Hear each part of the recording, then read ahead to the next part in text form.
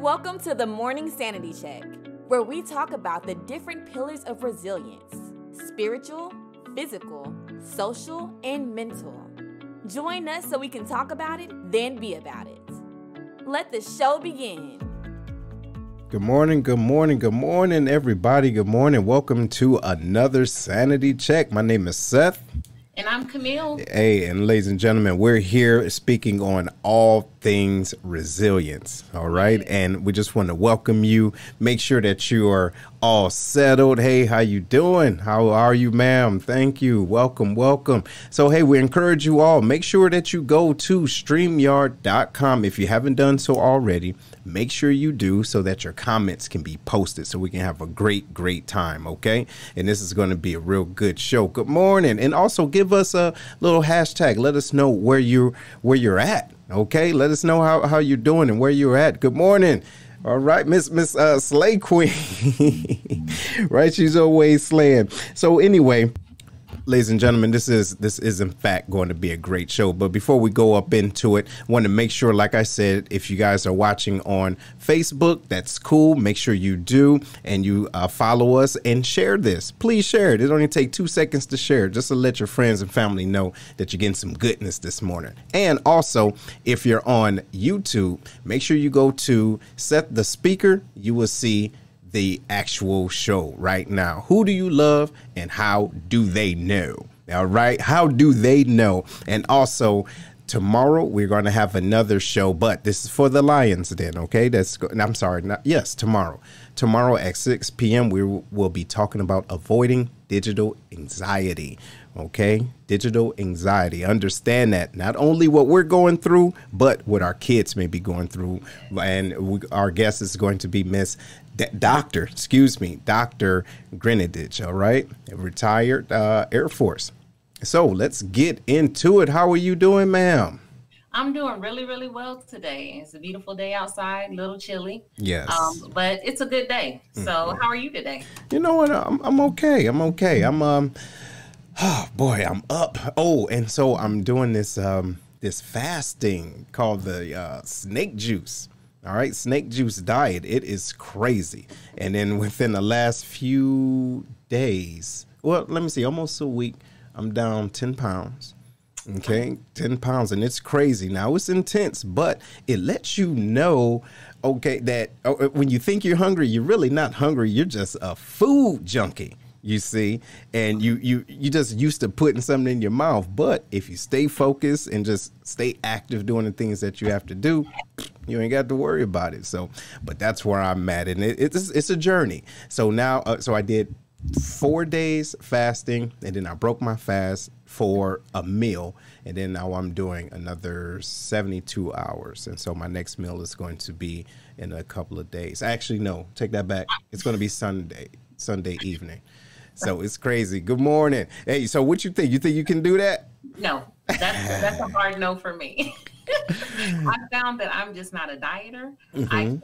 There's certain. I love food. Like I love food. Mm-hmm. So um, it's hard for me. My my diet is called pushback.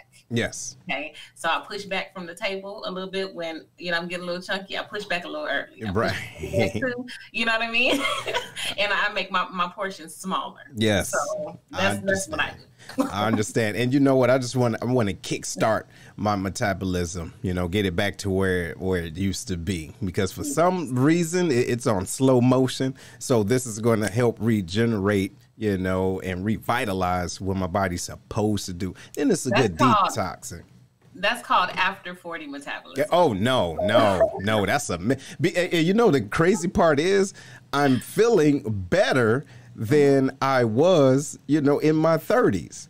You see, and and it, you know, it's it, truly it's it is the detoxing, getting all that crap out, and then just start thinking more about things that you put into your body. You know, absolutely, absolutely. I walk all the time, so you know, I have to try to keep my metabolism up as well. Yes. Um, and so food choices is a huge thing. Yes. Um, we get lazier, I think, as we get older, but I do have more energy now than I have, you know, in a long time. So, um, you're right. Yeah. It's, it's what you do, really. Mm-hmm. But it is true that after 40 you have to work a little bit harder absolutely you really do naturally wants to slow down yeah absolutely and and and so it's up to us to decide how we want to let our body tell us what it wants to do versus us telling our body. Now, there's some natural things that's going to happen, but we don't have to succumb to it. And even being in this uh, quarantine and you know this low, uh, you know, this low connectivity with individuals, we still uh-huh. have the power to do things and just have we just have to be innovative of how we're doing it. But absolutely. So, ladies and gentlemen, again, welcome to Sanity Check. So, we're talking about who do you love and how do they know right? Because yeah. you got individuals that say, "Well, no, I love them, and they should know." Really, think about how silly that sounds. should they know? Right. But anyway, go ahead and open it up, Miss Camille. So we're talking about love. So I want to talk about first, you know, what really what is love? A lot of people are confused about that, so it's hard for them to really kind of express uh, love to another person um, because they're not really sure what love is. And it's really kind of a mix of emotions. There's no one, like, one size fits all when it comes to love because we all know about the love languages. We express love differently. Um, it doesn't look the same for all of us, but in the end, it's still our way of showing someone that we care. So some of the things are, you know, it's a strong feeling of emotion. Uh, you want to protect that person, whoever it is that you you love. There's this sense of connectedness that you have to them. Um, I mean, there's like this this this sense of respect and warmth and things like that that you express to another person to show that you love them. So I just want to get that out of the way that it does look differently for a lot of people. We can also express it, you know, to um, animals and things like that, but we're talking about, you know, human love right now. So one of the things I want to talk about, uh, the reasons why we don't um, uh, show love is fear of rejection. And this is one that really, really goes a little bit deep. All right. Nobody wants to feel rejected. Nobody wants to feel like they can't, um, uh, somebody doesn't feel the same way as they do. So oftentimes we hold back sometimes it's really really deep seated you know that as a child you love somebody or your first crush you know you you told them you know i like you and they were like ew ew and then they spread rumors about you to everybody else and that carries through to us um that carries through to us um as you know people really kind of um oops i'm sorry you guys um as we start to learn how to love you know, and what that looks like for us. If we were rejected, say our, our family, our parents weren't very affectionate, and we were affectionate children and we went to go and hug on them and love on them and they were like Mm-mm, no we don't do that you know? Uh, we don't hug we don't kiss and you're like oh my goodness and then it makes you feel like um, you know you're in a very vulnerable state. Like i feel this towards someone and they don't feel it towards me and then there's that that rejection. And then that's that constant fear of rejection. Am i doing enough? You know what i mean for this person. Um, so fear of rejection is a huge huge huge part of why people don't want to express love to another.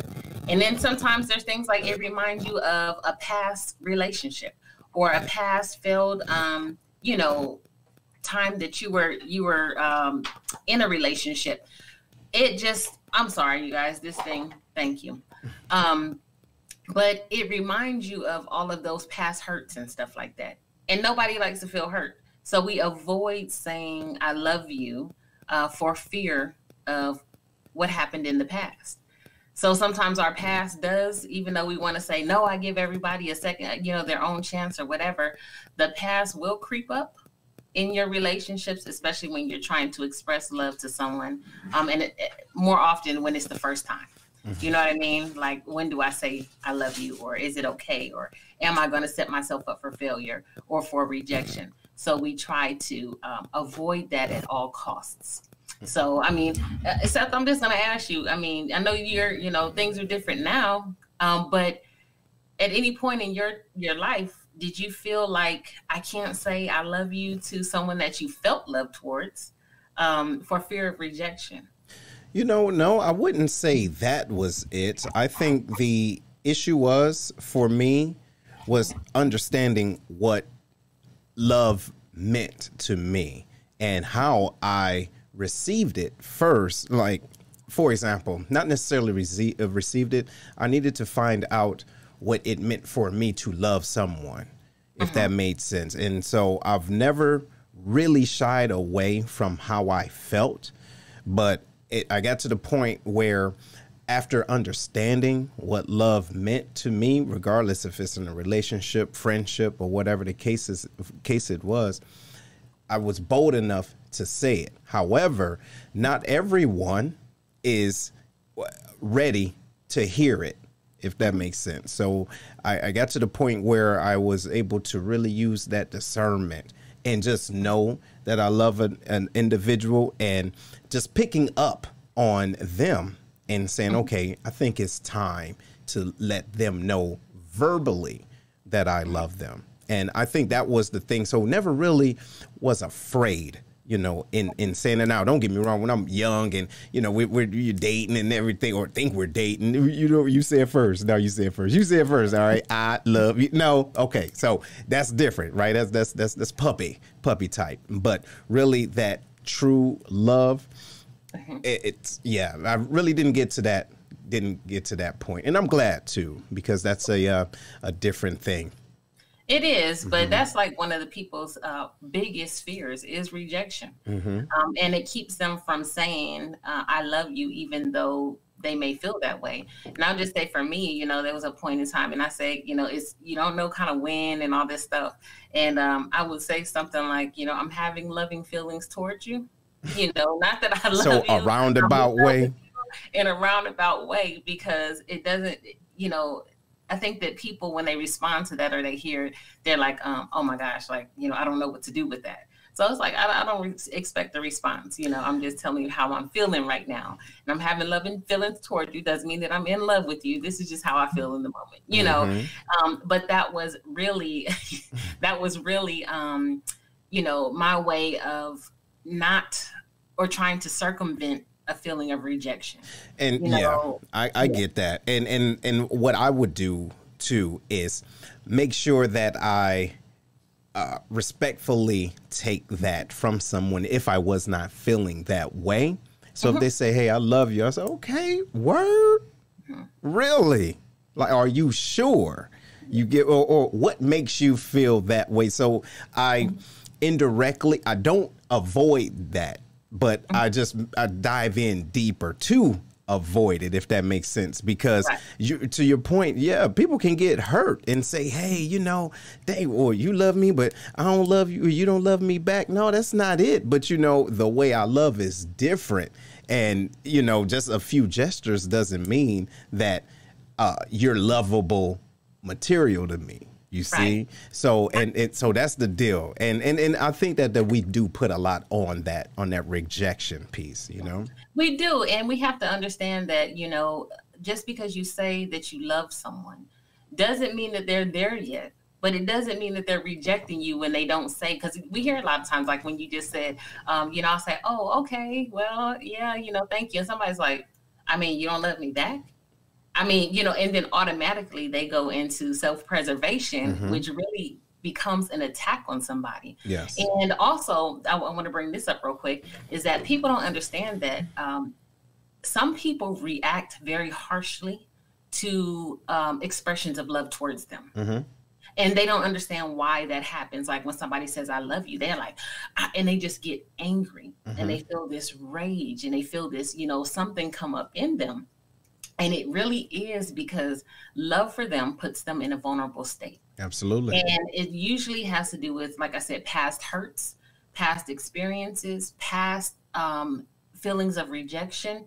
Uh, maybe they just don't know how to express it. So it comes off as angry. And a person is like, I'm trying to show you love. And here you are just like lashing out at me there for you no go. reason. Yeah. And people don't, they don't put, uh, you know, peel back the onion to figure out why am I reacting so harshly to someone's expression of love towards me. Right. And, and yeah. so, yes. Mm-hmm. And if they don't, you know, pull back that onion, they'll continue to reject love, therefore, never being able to accept love, mm-hmm. and then it's harder for them to give love as well. Yeah, that's so, true. That's absolutely right. And you know what? That that kind of brings me to the next point. And how do we express that? So, ladies and gentlemen, I want to talk to you guys a little bit about uh, ways to show that you love someone and to create that space so that they will feel okay about it, right? To Camille's point. So, how about you tell the individual that you love,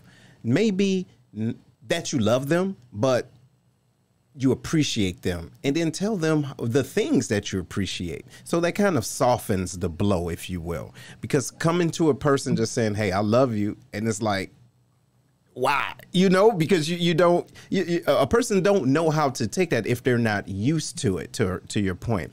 So let's practice that. Let, us think about that. The ways that you can express love and here's a that's that one right? Just show them that you appreciate them and let them know right? So a little love right goes a long way. So many of us are guilty of taking people for granted okay? We take people for granted. So it's good to acknowledge those that who's who've impacted you your lives and that letting them know hey i could not have done a b c and d without you you, you get what I mean? So you may not have to just come full fledged and say, Hey, I love you and wait for a response. No, just say, Hey, you know what?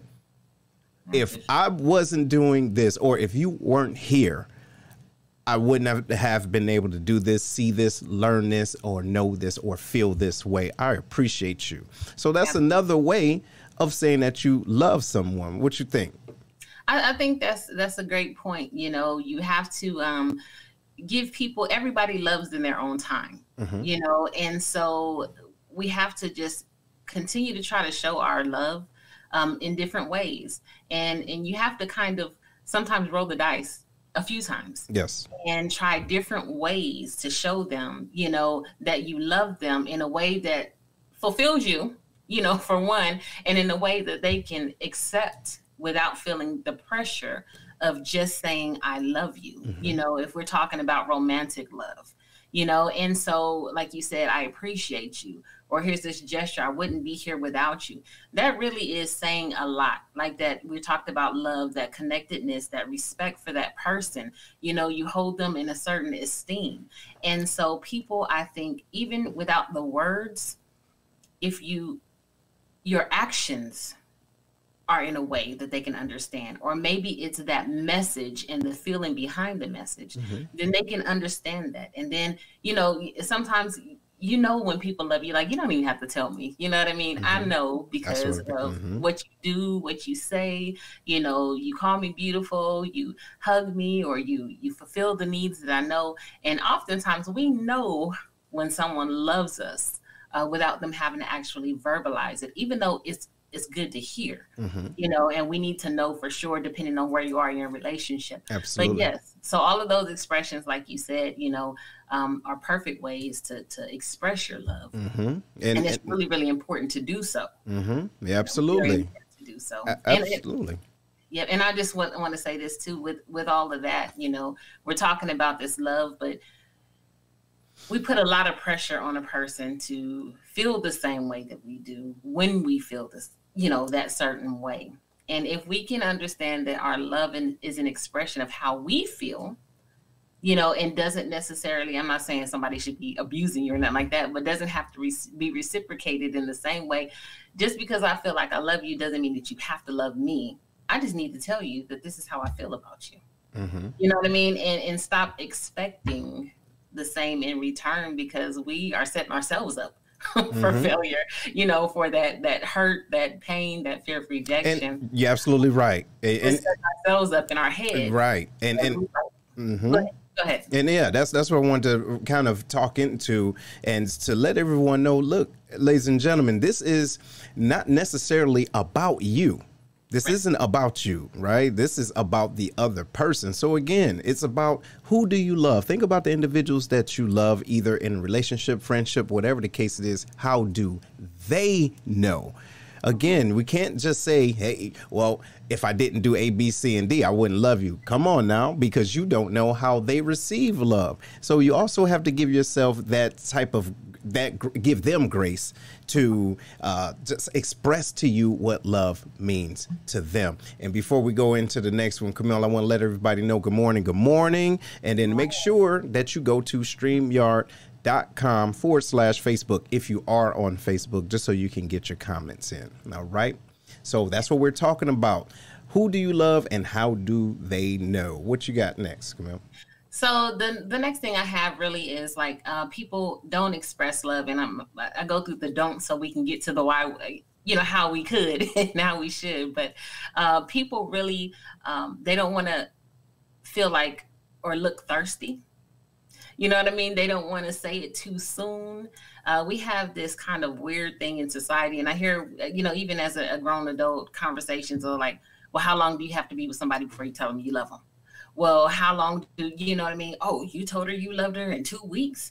Oh, well, there's people who've known each other for two weeks and got married because they just knew and they've been married for 40 some odd 50 years, you know? So it's no time limit. And I think that we put a lot of pressure on ourselves from outside sources, you know, what they feel about how we should love.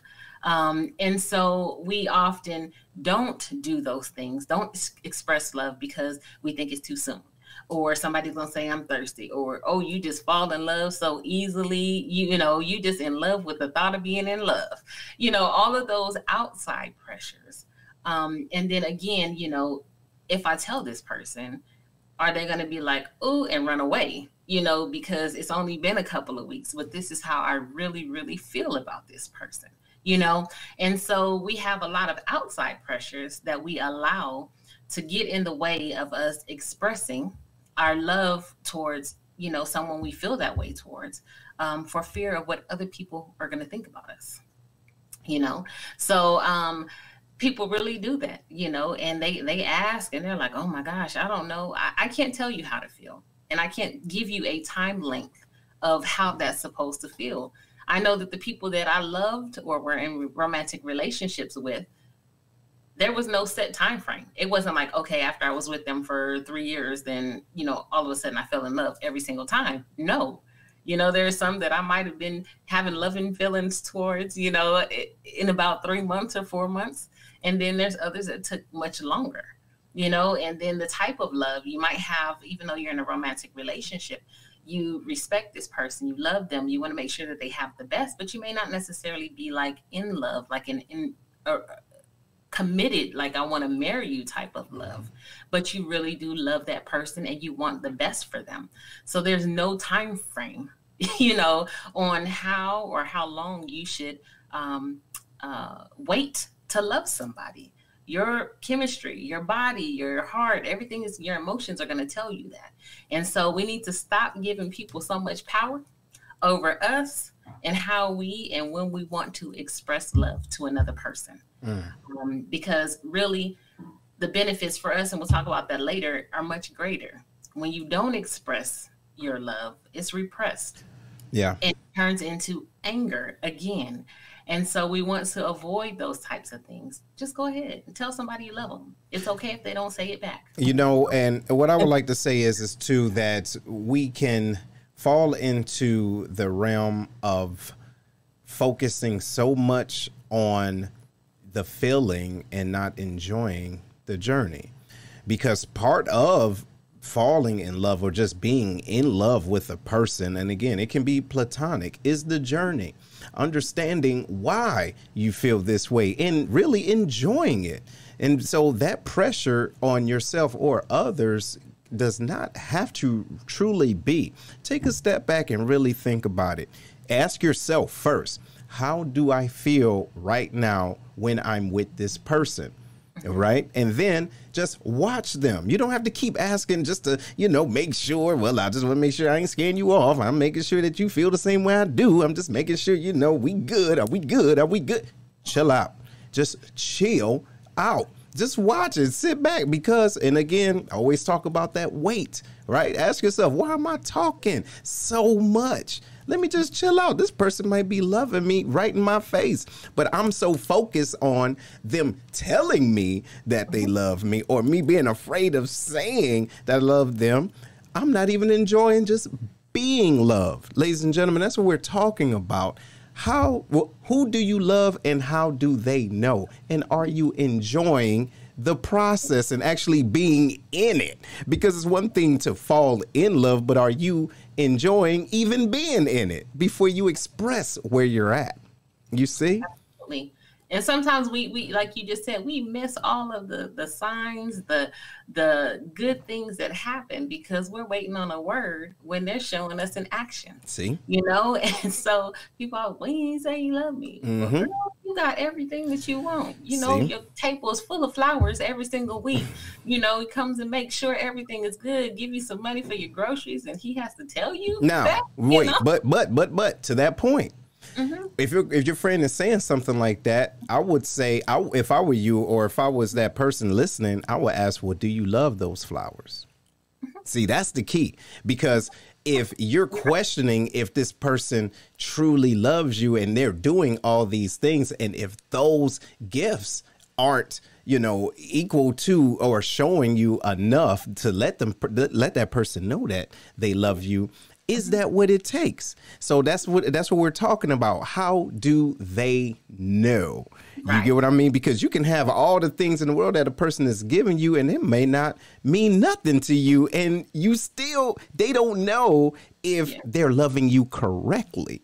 That's where the communication there, comes yes. in. So if you do not, um, if if gifts is not your thing, then you need to say that. How do I accept love? How do I feel love? You know, and this is what I need from you mm-hmm. in order to feel love. Thank you for all of the stuff.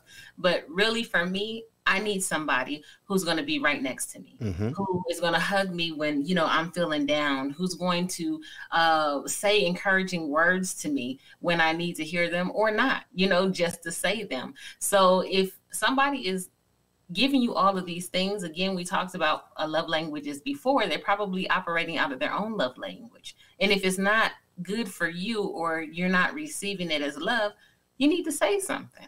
You know thank you for all this stuff but i'd rather have your time. There you go. You know what i mean? I'd rather have you know we can just sit and talk or sit and watch a good movie together or we can go out and volunteer together if acts of service is what it is that he's there with you helping out someone else.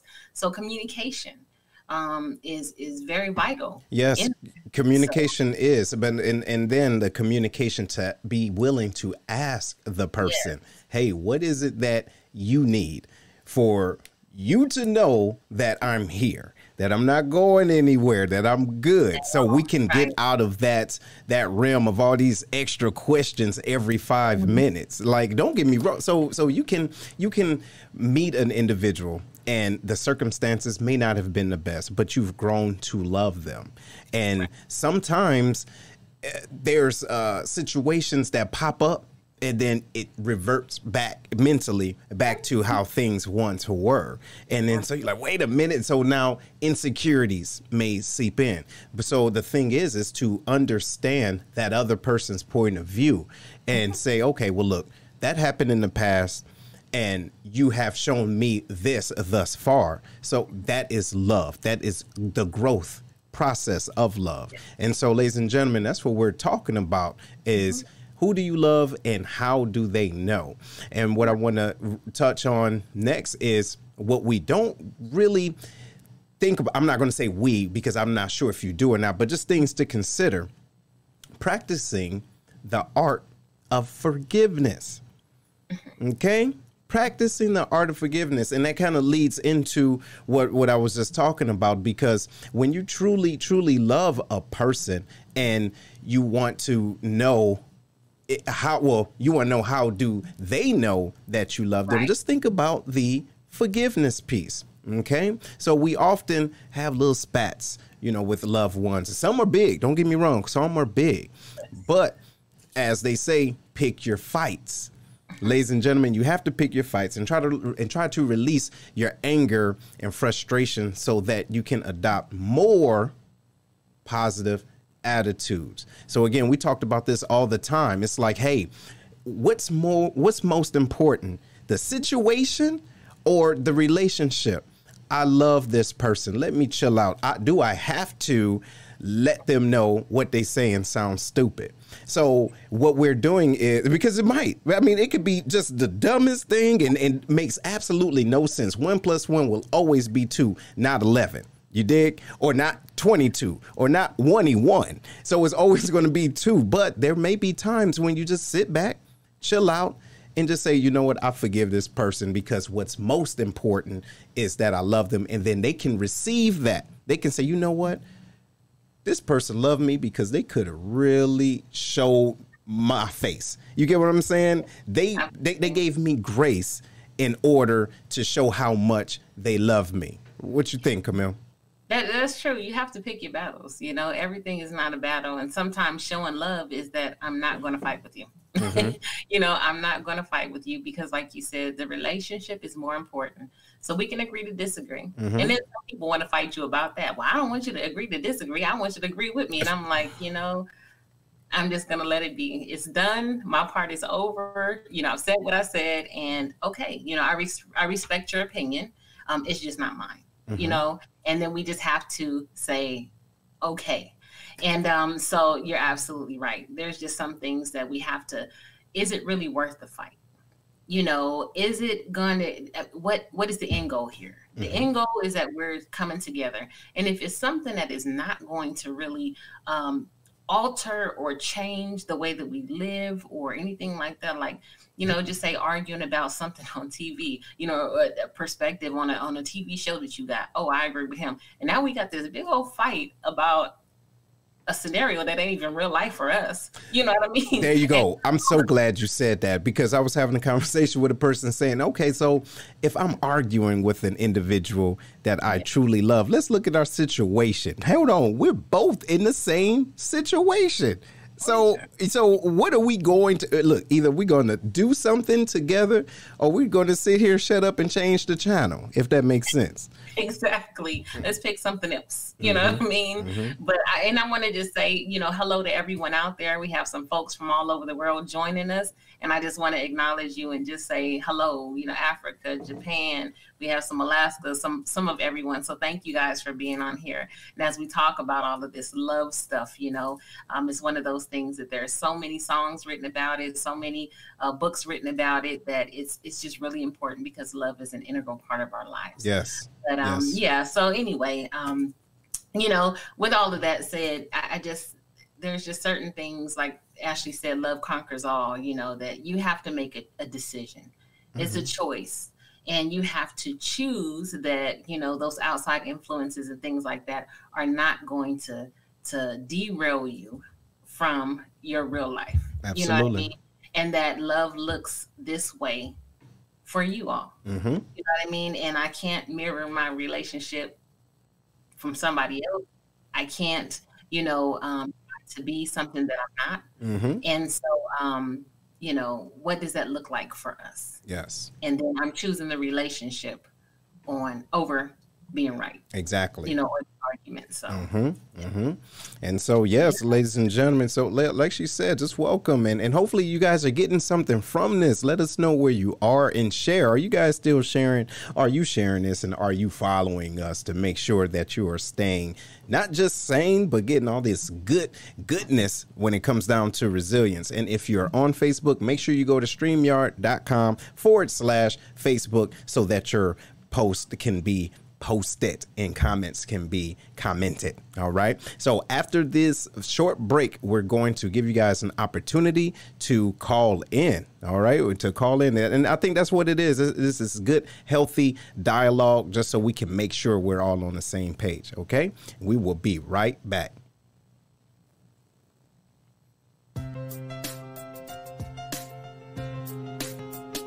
If you're looking to buy or sell anywhere across the 50 states, contact Jamila Seals. Jamila is a realtor with Keller Williams Marquis who exudes credibility, commitment, and determination while serving the Metro East and Scott Air Force Base, Illinois areas. Her warm and friendly approach, combined with unparalleled communication skills and enthusiasm for helping others, allows her to connect and provide clients with the best possible service and experience.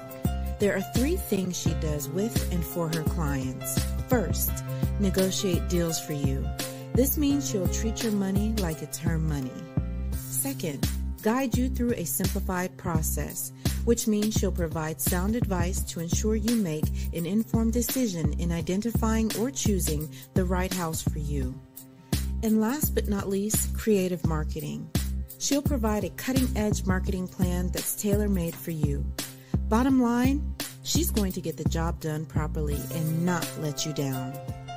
So if you're searching for your new dream home, give Jamila a call today at area code 618 202 8751. Again, that's 618 202 8751.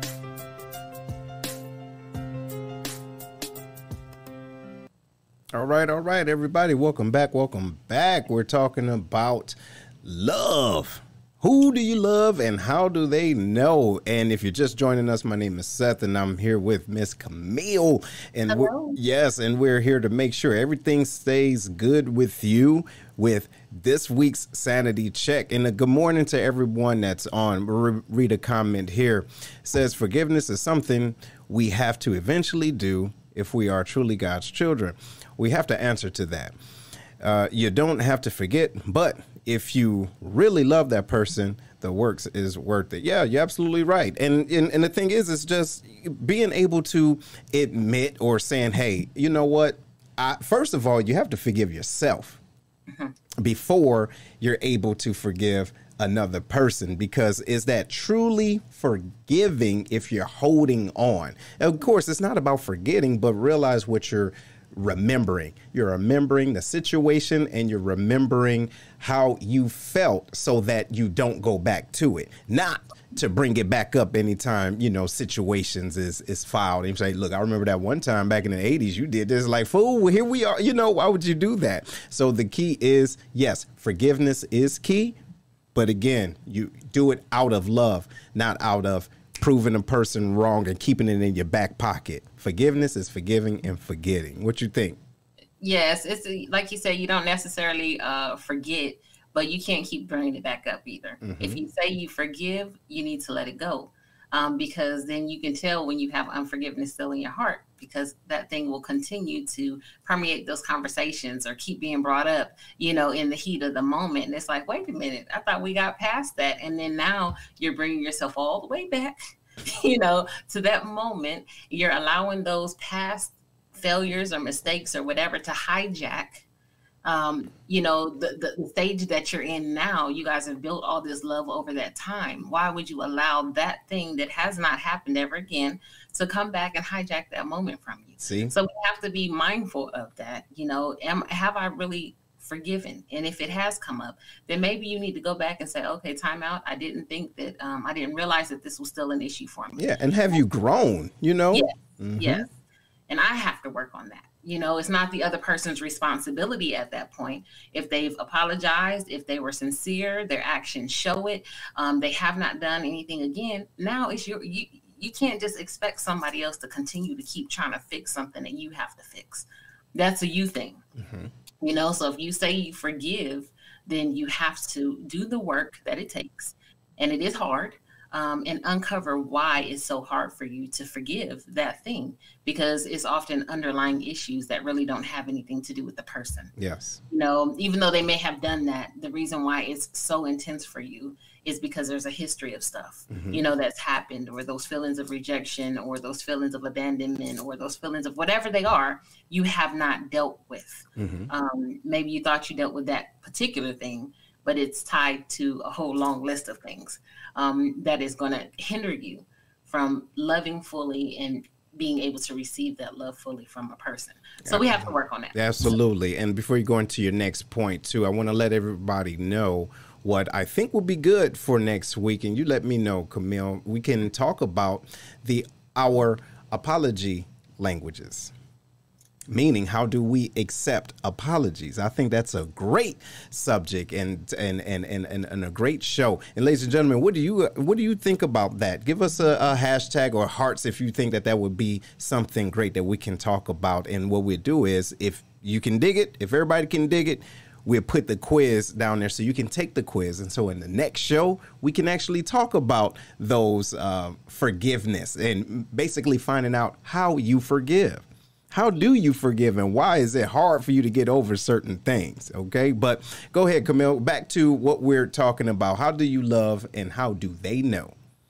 Yes. So I'm going to talk about uh, cultural norms, all right, and family norms some cultures, um, affection is not really uh, looked highly on, you know. So the way that you express your love maybe by finances, providing a stable home for your family, um, passing down, you know, businesses and things like that.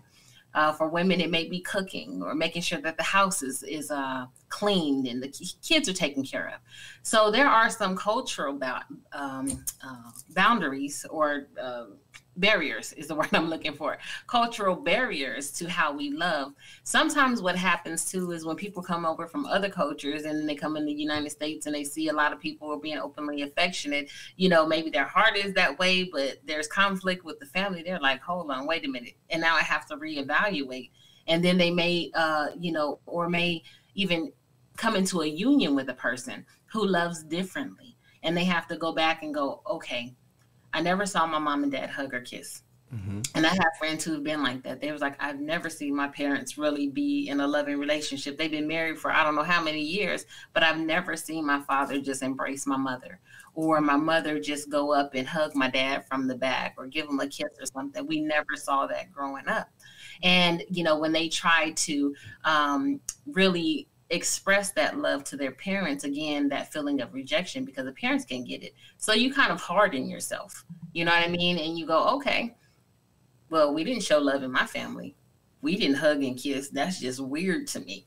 You know what i mean? And then you start projecting that on other people. So there are some cultural norms that we have to you know kind of um, acknowledge uh, when we're dealing with love and why it's so hard for us to express it you know and then if you want to and here's the other thing i think that a lot of people i know that a lot of people i'll say the people that i know that i know this about mm-hmm. um, they want to be expressive but because they didn't have an example they don't know how to. And so it feels very awkward for them. And they don't know you know how to okay so how do i go about and just hug somebody? You know mm-hmm. is it okay? And then there's this awkward exchange or whatever. And i always say first of all you know if you're just getting to know a person ask them, is it okay for me to hug you? You know, because everybody's not a hugger. And I see body language when people are like, I'm like, you, you okay. know, it, it's funny you said that because I've met people that say, hey, I'm a hugger, so come here and hug me. Hold on, chill out. Right. So I don't care if you, you don't tell me you a hugger. I need to hug you. You see what I'm saying? You need to watch out for that because not oh. everybody can dig what you dig. Exactly. But what I've learned is I am a hugger. Mm-hmm. And so I go, I'm a hugger. Mm-hmm. But is it okay for me to hug you? There you go. You know, mm-hmm. and then, or I, I watch their body language because you can see when they're coming into people and they start doing this, and I go, oh, okay. And I'll extend a mm-hmm. hand. Or mm-hmm. I'll just throw up my hand and say, okay, hi, you know, and then you can see them just kind of like, oh, yes. Oh my gosh, I didn't have to go through that. Mm-hmm. But because we all don't love the same, we don't express our emotions and our affections the same, it's very, very important for us, one, to um, kind of think about that. See, read body language, you know, before you just kind of go in because you can really just do some damage to people if you hug them like that and they have some trauma or they just don't know how to. And it could be, I'm never going near that person again because she just violated my space, didn't ask me if, you know, that wasn't okay with me. And you're like, man, I was just giving her a hug because, you know, so you have to make sure that you you ask those things first and that mm-hmm. you just don't go in and that you don't force your uh, love language, your affection, your level of, you know, love wherever you're at, uh, comfortability with um, affection on someone else. Yeah. But if you're one of those people who are struggling because you want to do it, you just don't know how, I just say, just do it. The more you do it, the better you get at it. And that's in other things, you know, just you have those feelings and you're like, oh, you want to go and go, go, and the other person is receptive. Just try it. throw your hands around them for a hot second and then let go. You know, like who get past that hump. But you have to uh, love is something and affection is something that you have to practice because it's a choice. It's a choice, and when you feel it here, but you don't act on it, you're choosing not to. And, and yes. that repression yes. of emotion is very, it can be very dangerous. Mm-hmm. So it, if you want to, just practice practice with your kids even though you may not have had it as an adult i mean as a kid growing up all the way you know you have your children and children they they learn from us you know some of them they do their own thing but you know just wrap your hands around your kids and i agree i agree and and i do i would like to say too if you are if you are struggling and if that's something that you are dealing with you can either try and if you're not ready to try just express that. Because we got to keep in mind early in relationships individuals let you know who they are.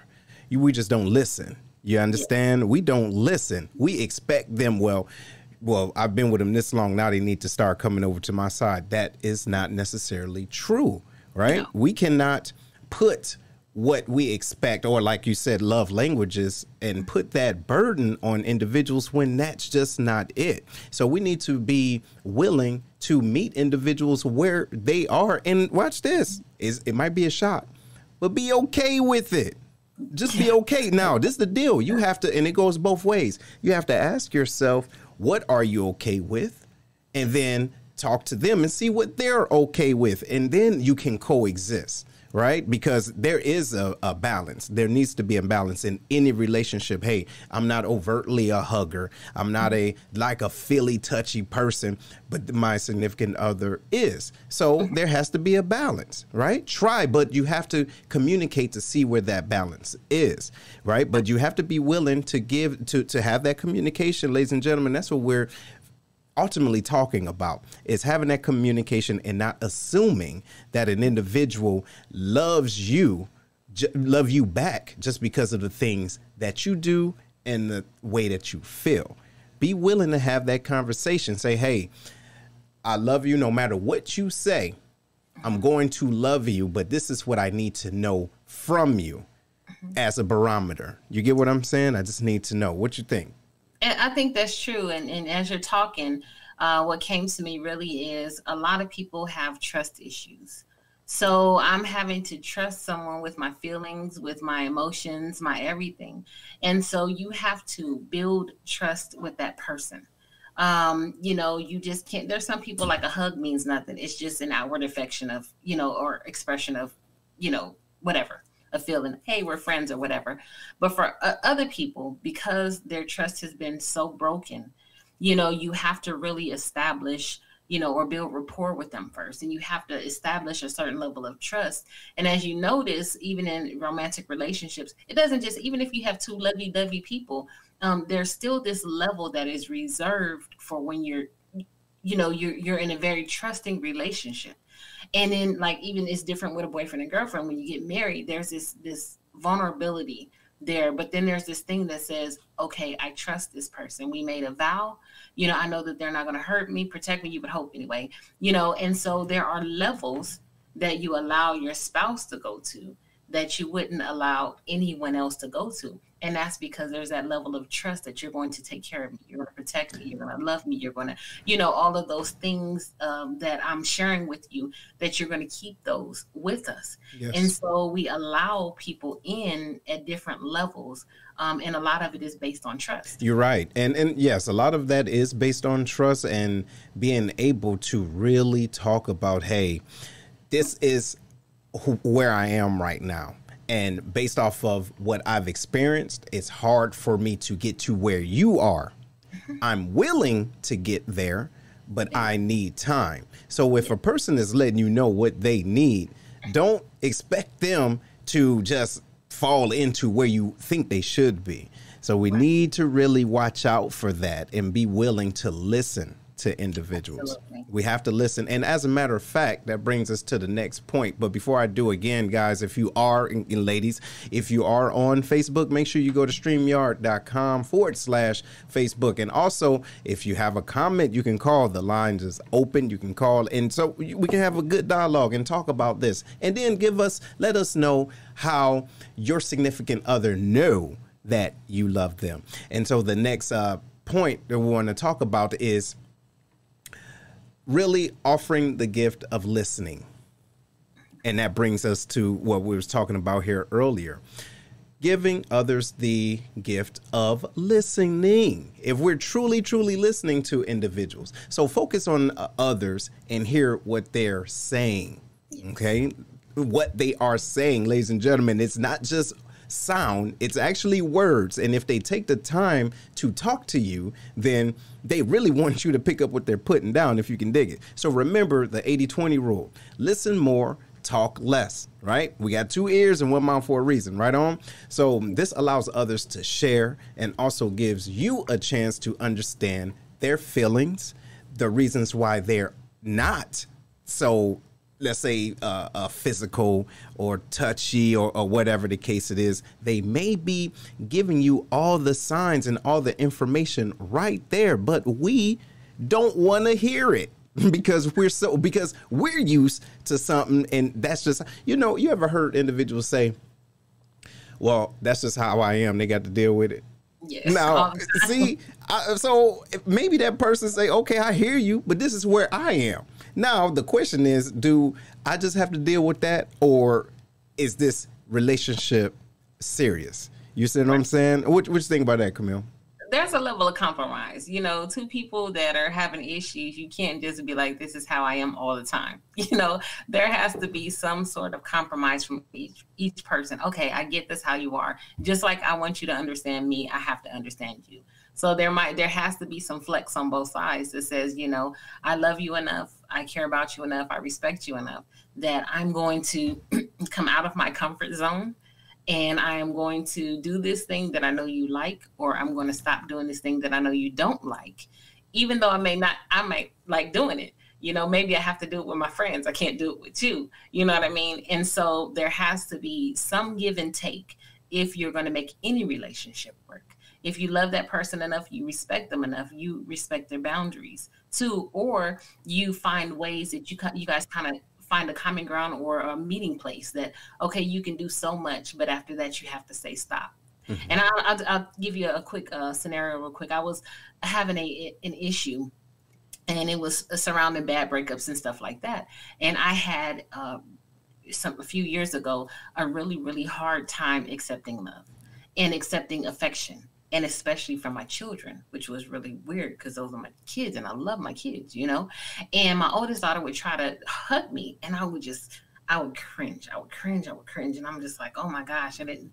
I, I now know where that came from, but like, and she was like, "Mom, I need affection too," and I'm like, "You're right." You know, no matter what I'm going through and how hurt I was at the time, and how I just was to myself off of everyone, including my children, um, she had needs as well because that's a relationship right? That's my child. And I love her and I needed her to know that. And just saying I love you wasn't enough. She needed to feel it from me. And so I, I told her I had to kind of sit down and evaluate. And I said, baby, this is how I'm feeling right now. And it's really, really hard for me. But I will give you a hug. We're going to have to count the 3 mm-hmm. You know, and so I would hug her for those three seconds that it would take so much energy from me to just hug her and put my arms around her for those three three seconds. But it was enough for her because she saw me trying. Look, I'm gonna get emotional about it now. Mm-hmm. But uh, she saw me trying, mm-hmm. and so she um she gave me grace too because mm-hmm. she knew I was going through some things that I had mm-hmm. to work out. Um, but that was a relationship, and so mm-hmm. I had to give because I didn't want my kids to feel like they were not uh, loved or appreciated or respected. And so eventually, you know, when I came out of that, and I, I, think that my kids helped me with that, you know, really embracing me anyway. And like, mom, we're gonna love you through this. You know what I mean? Mm-hmm. Um, I was able to. And now, you know, I'm I'm glad when they come and, you know, plop up on my daughter's 23 and she's bigger than me, you know, but I love when she comes and hugs me and I just hug her and we'll just talk and all this kind of stuff. But, you know, people go through things. You get you over there getting misty eyed. Come I did get misty You, you get talking about your babies. And see, you know, I feel you. No, I, I feel you. And you know, you're right. Yeah. Everybody, people go through things, but we have to realize that the individuals that's in our universe, yes. the individuals that's in our universe, they are there for a reason. And my daughter too, she's the same way. Wait, wait, what what is it? I think she is a cancer. I'm not sure. Look, okay, so her birthday is July 21st. I don't That's know. Her birthday. Is it? Yeah. Oh well, hey, hey, well there you go. So okay, so there it is. But listen, she loves this huggy huggy stuff, and I can dig it. Don't get me wrong. She's only you know nine or whatever, but I had to talk to her. She said, "Daddy, you don't like the hug." I said, "No, baby, I I do, but then I don't." So here, watch this. Give it to me real quick. All right, go about your business. You see, but I have to realize that this still my daughter, and I have a responsibility. See, because I don't want to reject her as a father because if I reject her being the first man that she loves, then she's going to look for what she needs from some fool. See, then I'm gonna be sitting back wishing that I gave her a little bit more when I have the time. You see, and make time to do that. So I've been growing in that. It's hard because I just don't like it, but after having a child, it's not about you anymore. So it's about them, but it takes. It's not easy. It's not a switch. It's not binary. Okay, it's on and then it's it's off. No, it takes time. So, ladies and gentlemen, you got to ease into that. You got to ease into it. Yes, and that's uh oh nice. But all these cancer twins over here. Thank you. Yep, cancer. Mm-hmm. But um yeah, you you're right. And it's not when you're in relationships, you know, it's how do how do those people know that you love them? Even when I'm feeling my worst. Mm-hmm. You know, I have a responsibility to the people who are in relationship with me. Yes. That I still have to try to give something to them because like we talked about, the reason why people don't express love is because of feelings of rejection. And if your parents are rejecting you, then every time you go to try to give love, you know, somebody does something or says, you know, oh, well, thank you. You have that, you experience that feeling of rejection again. And it keeps you from being able to love fully and wholly. And so, you know, they'll continue to feel those those emotions and it'll it'll stop them from possibly happiness. Mm-hmm. You know, I don't know how to accept this love from this person because I'm used to being rejected, you know, and this is this is what it, it, looks like for me. So it's like, oh nope, I'm afraid. And it's gonna pull me back if I let my walls down mm-hmm. and that person hurts me like I was hurt by my parents or hurt by whatever, then you know, where does that leave me? People don't want to take that risk. Mm-hmm. And so they shun love. But people in your circles, people need to know how you express it is you know, up to you. But it needs to be in a way that they know, which is what this is about, in a way that they know and that you're okay with doing. Even if you have to put yourself out there for a minute, you know what I mean? Sacrifice a little bit because it's about the relationship. Yes, about the right. person. Mm-hmm. You know, and, and it is there's some benefits for you too, which we'll talk about. Right. But you really have to understand that, you know, you are not just you alone. No, absolutely. No, no, you're not. You're not just you, and you're you, you are a walking representation of your experiences, but you're also a gift. You mm-hmm. are also a gift. So stop being selfish, right? Yeah. Understand who you are, understand who you are and understand what individuals need. So before we go into your, your last one, Camille, ladies and gentlemen, the lines are open. Call us 618-792-6747. Let us know how you know other individuals love you or that they know that you love them. I know it's kind of flippy, right? But you have to understand is it how do your individual, how do your significant other know or your friend know that you love them. All right. So give us a call. So go ahead, Camille. What do we got for your, your last point? So if you're having, um, um, there's a couple things. If you're having a, an issue expressing love, there's a few things that you can do. One of that is to name that fear. You know what I mean? You have to figure out what it is that you're really, really afraid of. Is it the rejection? Is it the shame? Is it that I look stupid? you know what I mean? Some people like, oh, I might look corny, or you know, somebody may perceive me as being thirsty. And why do I have these fears? You know, maybe it's the feeling that you're not good enough. You know, and you have to go back and say, I am good enough. You know, I'm capable of love. I'm here. I was born with love you know and so you have to replace those those kind of self-limiting beliefs those things with the truth about you are worthy to be loved and to give love you know and then you have to accept that everything in life is a risk you may love somebody that may not love you you know I mean, may not love you back, and that's okay because you're expressing your feelings towards them. And hopefully there's no expectation. This is how I feel. I could take responsibility for how I feel. You know, I would hope that you would love me the same. Relationships are different, you know what I mean? That there there comes a point where something should be reciprocal. But you know Hello? Uh oh. oh, you okay? Yeah, yeah, we got a call. Go. I'm sorry. Go ahead. Hey, this is Mama Jackie. How you How doing? y'all this morning? Good. Good. I, I'm I'm sending you guys some some some real love and some hugs and some kisses to the phone. But this is my my um my comment. I was looking up how what love means to women and what love means to men. And one of the things it was saying was that for men it's more respect and submission, those kinds of things are the um, language of, of how men feel loved. And I realized that I have a, I think that's more important to me as well. You know, people say, I can love you, I love you, I love you. But it's their behavior, their actions that I watch more than anything else. And I think at the top of the behavior list is the respect piece. So I just kind of, you know, want to give a, a, a shout out to all of those who, you know, um, sometimes, you know, my mother used to say words are dime a dozen. Yeah. You, you know, and, and they don't mean as much do you actually show that love. And so that's my comment for the day. And, and I just want y'all to know I'm, I'm really enjoying this. And yes, I am open to next week's um, topic as well. Right on. Bless Well, you, thank and y'all have a great day. All right. Bye bye. Thank you. Thank you. And you know what? And, and just give me two seconds and say that makes a lot of sense. And because I, I know that about me personally. And so, Mm-hmm. individuals, and ladies and gentlemen out there in family, you have to know yourself because I know that, hey, you can tell me all day how you feel by how you treat me. See?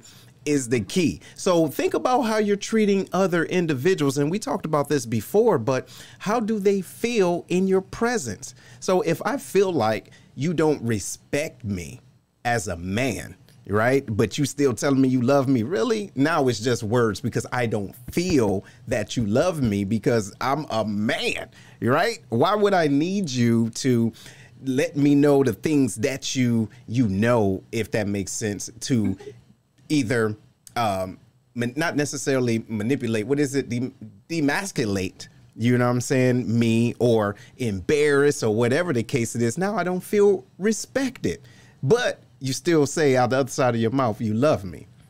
You know what i mean? So we have to make sure that we are honest about the type of love that we need for our significant others. So go ahead camille and, and communicate that you know if there is a rift because people are getting to know each other and so you know situations happen differently you know like this is how i felt. You know that other person person may not have intended to disrespect you but because of your past history this is what disrespect looks for like for you. And you know what transpired in that in that situation that made us you know come to this. So the communication part is very very important uh, when it comes to that to let me know hey and then hopefully that person won't make that misstep again you know what i mean so you know, and, and it, it's funny because the, the the the deal is, if you f- express, hey, this is what I don't like. I really, I would really. Now, you probably didn't know this, and if this is the first infraction, if you will, this is what I don't like. And do you understand? This is what I don't like. Who responsibility is it at that point? Right. And I'll open it up to anyone that's listening right now, and you guys can comment. Who responsibility is it to remind this person, hey, you're still doing what I don't like? And to the point where a person now, their level of forgiveness, if you will, or grace starts to go down because, hey, I just told you this last week. Now, what do you need me to do for you to get it? Now it's happening again. Is it my responsibility or is this person's is it this person's responsibility to keep a mental note? Say, all right, you know what? Ah, wait, I stepped in something. Let me let them know that I remember what I promised them or I remember what they said. And I don't want to do that anymore. So what do you think, Camille? I think that's where the apologies is real uh, important, you know, mm. understanding that too, because we have to give each other grace when we're learning people and stuff like that. Because they say it one time doesn't mean that you're going to remember it in a heated moment or that, you know, at that thing that's the, at the forefront of your mind. However, when it happens and you're like, oh, you know, you have to be humble enough to say, look, I, this is an area I have to work on. You know, my mouth, you know what I mean? My mouth is sharp so, you know, I may say something or I may feel disrespected as well. And so, you know, my first reaction is to do X, Y, and Z. But I remember what you said.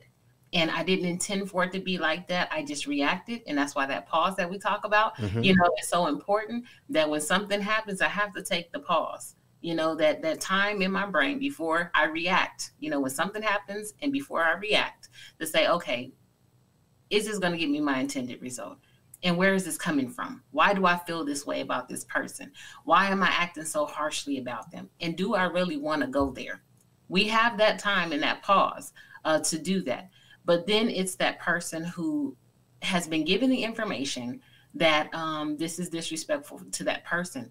It's their responsibility to go back and make that right. Now, if you don't want to change that and that's something that you, you know, this is just how I am, you need to express that so that person can make a choice whether they want to be right and, and, don't you know don't, don't, don't listen don't don't tell me that you're sorry you go work on it and you ain't working you don't you don't even have intentions on working on it. You what you're doing is you're just pacifying me just to shut me up you feel me? Oh no no no you're right no i heard you know you, i ain't gonna ever do that again whatever. As soon as you talk turn as soon as you turn around you know you, you remember on friday look you, hey look I'm all right. I'm all right. As soon as they go, and then you know what I'm saying. Somebody turn around and you look. I'm gonna keep on talking. But right. you have to, like you said, understand what you're trying to do and what do you want to accomplish. If you truly are listening to that person and not taking what this individual is saying as whining or complaining. Trust me, ladies and gentlemen. A squeaky wheel is squeaky for a reason. you know what I'm saying? It's squeaky for a reason. It's not just by happenstance. Something is irking this person. So we have to be, like you said, humble enough to say, uh, if I misstep, that's my fault. Because I do remember we're yeah. grown. I'm cognizant to know enough to know that this happened just a couple days ago or last month. I know, we, I know we're getting older, but our memory ain't that bad. So my bad. I, I, I jacked up on that. That's my fault because you did say A, B, C, and D. Absolutely, and and like you said, it, it like I said before, it takes a while to break certain habits. If mm-hmm. that's how you are, but the key is, am I actively trying? You know, and do I, when I do make that mistake, misstep, do I go back and say, you know what? I love you. I'm sorry. I should not have done, you know, it wasn't my intent. I just reacted. I'm going to try to slow the next time. And, you know, it, it's going to take a few missteps. Some people get it right away, but sometimes it takes a, a few missteps. Um, but you're trying, you know, and you're seriously, earnestly trying, sincerely trying. That's the difference. Mm-hmm. So, um, you know, it does take some time for certain people, depending on what it is. Mm-hmm. If it's something that's in their behavior that they, you know, have uh, done so long that you're asking them to to kind of give in, is not going to be an overnight thing.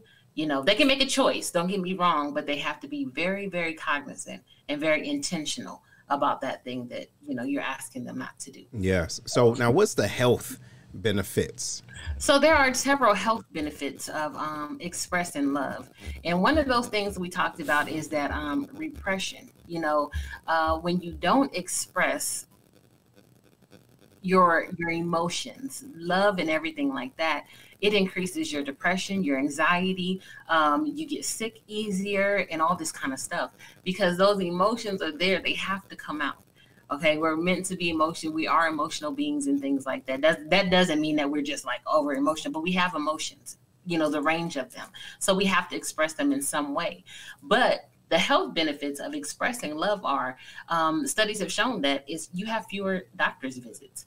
Um, they already we already said that uh, or a lot of people probably know about the studies that say that married people married men tend to live longer um, than single men right um, and it's so many different things because there's less instances of depression in people who um, are able to express love or in or or are in loving relationships.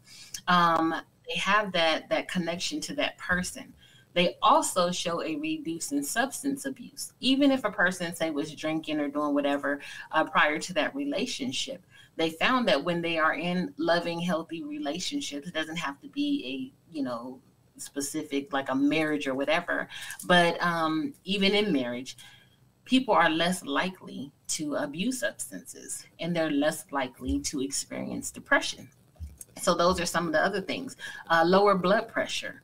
Um, a happy marriage is good for your blood pressure. Mm-hmm. you know, I mean, there's several studies that said that that married people have um, some of the best blood pressure there is, uh, followed by single people. You know what I mean? But uh, blood pressure is lowered when you're in a healthy relationship where you can express your your your love, your emotions, and then it also shows that you know it's a natural pain uh, reducer. You have less headaches and less back pain.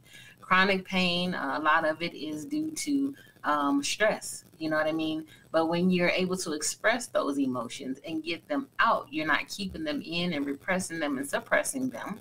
Um, you have less pain period. Headaches and pain. It's something about uh, Seth, i don't know if you ever uh, have gone through this but say you had an issue with a person right? And you it just doesn't sit right with you. And you just suppress it and you're like oh and it's just eating at you. You're stressed out. You know this person might be going about their business but you're all stressed out and stuff. But then the moment that you say you know what? I can't take i need to tell them how i feel good, bad, or ugly, regardless of what it is. You know, some people I might love them so much, I just want to tell them, and you tell them, you're like, oh, you know, and no, and so I, I I think it's all situational. Okay. I think it's situational because, you know, you can love anyone and they do something wrong and you have this inkling or this notion to get it off your chest. But then there's times when you can't really with that person because they have to be willing to see the wrongdoing. And if they're not willing to see it, or pre- pre- prepared to see it, then it's going to cause another rift. So what I do is I utilize my sounding boards. I utilize my mentors, significant others. I, you know, utilize true friends first to make sure I'm not tripping. You see what I'm saying? I need to make sure I'm not overreacting before I go into a situation and go to a loved one and said, "Hey, this is what you did. This is how I felt, blah, blah, blah. Because the deal is, is that my feelings are valid. Okay. My feelings are valid, but I really have to look at the whole totality of the thing before I feel, you know, the need to connect with that individual to let them know. But then before I even do that, I have to be ready and to understand that this person, no matter what I say, they still not going to get it. So then I have to think about is it even worth bringing up? And the fact that I utilize my sounding board, okay, mm-hmm. and or my board of directors, if you will, and they let me know that things are cool, but some mm-hmm. people are just some people, then I can step away from that and not expect mm-hmm. certain things from that loved one because they may not be in the space to receive what I have to give them. You see? Absolutely. And that's the thing that you can only control your emotions. Here's the thing, right? So you can't control how somebody else is going to react. Oftentimes, again, we place that expectation on the person instead of this is what I need to do for me. Yep. You know, I need to get this off my chest. I don't care how you react. At least you know. Mm-hmm. You know what I mean? And we're not sitting here acting like everything is hunky dory right. and that I'm okay with it. I need for you to know how I feel regardless. And now it's your choice. And I say that a lot of time. I just want you to know how I feel. What you do with that is your your business. Right.